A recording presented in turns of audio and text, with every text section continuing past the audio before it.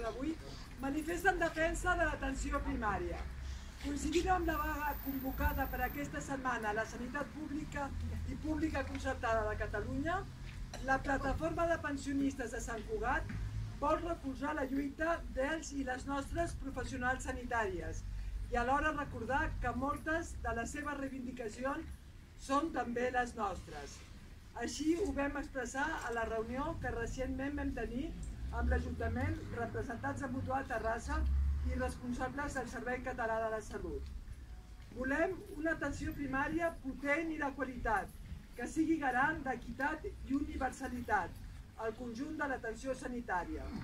Per això cal un augment del pressupost que s'hi dedica fins a arribar al que recomanen els experts, recuperar les plantilles de personal que hi havia abans de la mal anomenada crisi, que les baixes i les vacances siguin substituïdes i cobrir les vacants que es produeixin per jubilació i trasllats. Mantenir un fàcil accés als i les professionals de referència i mantenir la longitudinalitat i continuïtat de l'assistència al llarg de la vida. Disminuir el nombre de pacients per cada professional.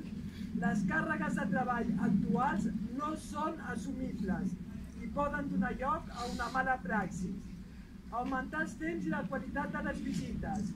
Disminuir les llistes d'espera, en concret a l'atenció primària, no hauria de superar les 48 hores.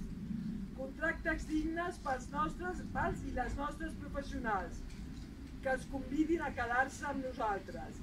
Participació ciutadana a la programació i gestió dels serveis sanitaris dir no al tancament definitiu temporal dels centres o a la reducció de la seva jornada d'atenció al públic.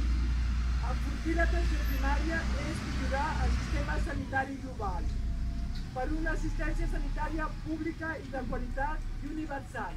Plataforma Pensionistes de Sant Cugat del Vallès.